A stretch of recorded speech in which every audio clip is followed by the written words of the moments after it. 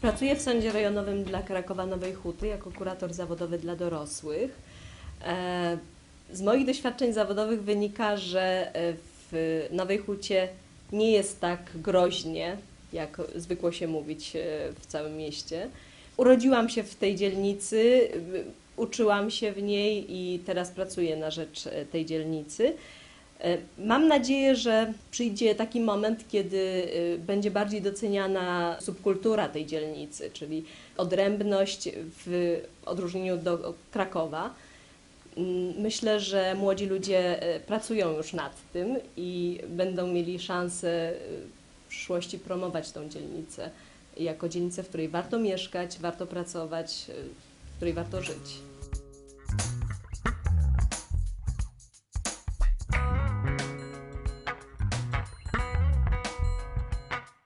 Pracuję jako kurator zawodowy w Sądzie Rejonowym e, dla Krakowa Nowej Huty. Pracuję z osobami dorosłymi. Mieszkam na stałe e, w Podgórzu, natomiast e, cenię sobie szczególnie właśnie współpracę ze społecznością Nowej Huty. Są to ludzie o przebogatej historii, z którymi ja bardzo lubię rozmawiać i są to ludzie dobrzy. Nie można powiedzieć, że ludzie mieszkający w Nowej Hucie popełniają więcej przestępstw czy są bardziej agresywni. E, Myślę, że tak naprawdę e, jest to stereotyp e, Nowej Huty.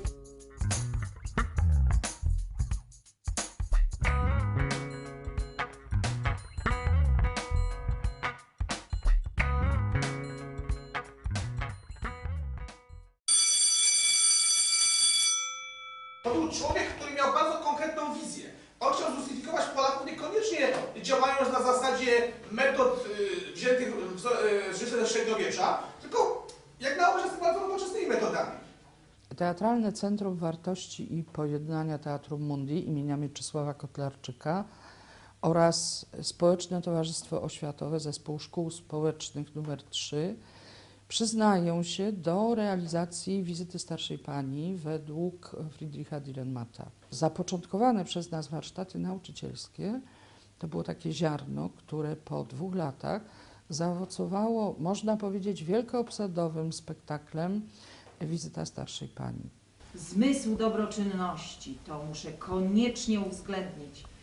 Jeśli chodzi o mnie, jestem przygotowana. Resztę musi zrobić pan. Il. Czy miałam może wyskoczyć z pani ekspresu? Spróbujmy zrobić tak, że za nauczycielkę będzie czytała y, Ewa, natomiast y, y, zrobimy wejście Klary, scena trzecia, dobrze? Przedsięwzięcie teatralne, w którym zdecydowaliśmy się wziąć udział, ma dla nas ogromne znaczenie i jest zupełnie innym doświadczeniem. Przede wszystkim dlatego, że odkrywamy sami siebie w obecności naszych uczniów i w obecności naszych absolwentów, pokazując im nieznane do tej pory oblicze. Nasze doświadczenie z teatrem pozwoliło mi zobaczyć w y, uczniach, y, w kolegach z pracy, y, w znajomych y, to, czego y, nie byłem w stanie dostrzec wcze- wcześniej. Okazało się, że y, słaby uczeń y, jest y, doskonałym aktorem. Zawsze jestem szczęśliwa w małżeństwie, ale w młodości wymarzyłam sobie, żeby wziąć ślub w katedrze w Gilen. A marzenia młodości należy urzeczywistniać. Będzie wielka uroczystość. Łaskawa Pani, drodzy obywatele miasta Gilen, wiele lat temu opuściła Pani nasze miasteczko. Postanowiłam ofiarować miastu Gilen okrągły miliard. Miliard. Ale stawiam jeden warunek. Klara! Czy można wiedzieć, jaki to warunek? Dam wam miliard, ale chcę sobie za to kupić sprawiedliwość.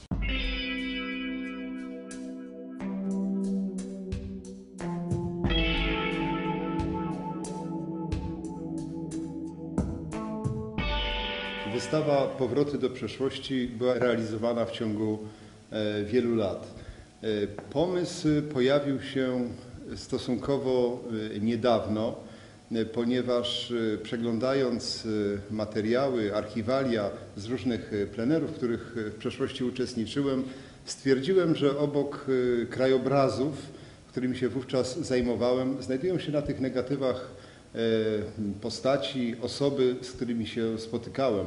Każde zdjęcie e, posiada swoją historię. Niektóre mm, opisałem, e, wiele jest jeszcze e, do spisania e, tych losów. Tę atmosferę, która w moim e, zamyśle miała być e, zawarta na zdjęciach, e, bardzo pięknie dopełniają sprzęty z gospodarstw e, domowych e, pochodzących właśnie od ludzi sportretowanych.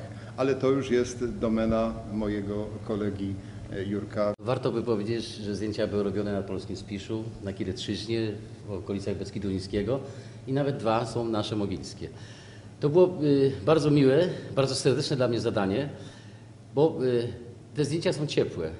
Mimo, że y, czasami z nich wyziera odrobinę jakby tragicznych momentów. Mam nadzieję, że te moje rekwizyty pokazują, bo tych rekwizytów dotykali ci ludzie i wydaje mi się, że ta wystawa jest ciepła, serdeczna, miła i o to nam z Adamem przecież chodziło.